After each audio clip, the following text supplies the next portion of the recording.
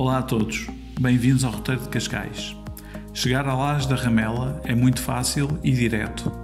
Para quem vem de Lisboa, deve passar o farol da Guia e a bomba da Repsol, passar o Forte Nossa Senhora da Guia e, mais adiante à esquerda, entrar para o estacionamento da Laje.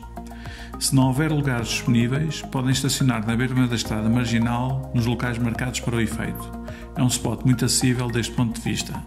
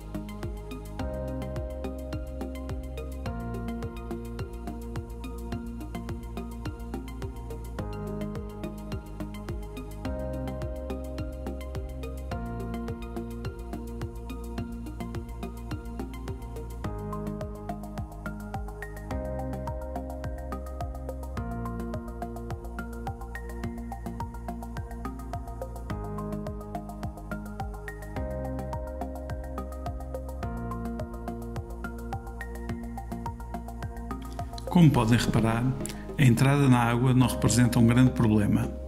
A laje da ramela mergulha na água com um declive suave e à esquerda desta forma-se uma pequena baía de pedra partida relativamente abrigada. De qualquer modo, convém sempre ter alguma cautela porque estamos a entrar e a sair em zona de rocha. Estejam sempre de olho no mar e tenham um plano B na manga.